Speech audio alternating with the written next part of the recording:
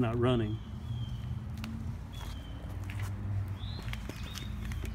Switch is still on. Fuel is still on.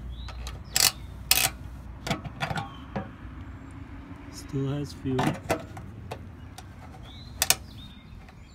Hmm, I think this may have died. Let me uh, try to, I didn't bring a tripod out here, but let me try to crank it. See if I can set the phone. Well, you can't. Can't see, but give me just a moment here and I will try to crank it. Oh yeah, no.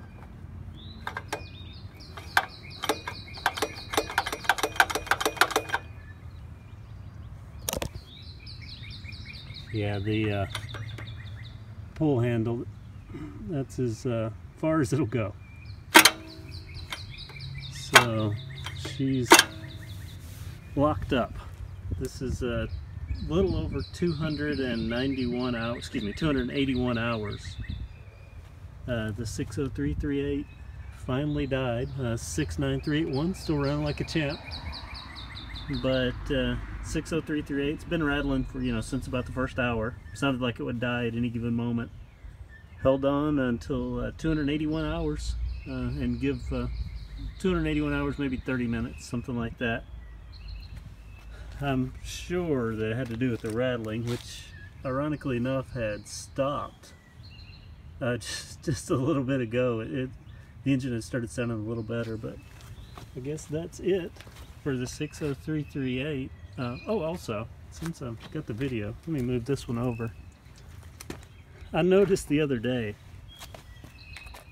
look at the gas tank design. Like a totally different lip design on the gas tank between the 69381 and the 60338. Just thought that was interesting. It's uh, rounded and thinner, more protruding and thicker.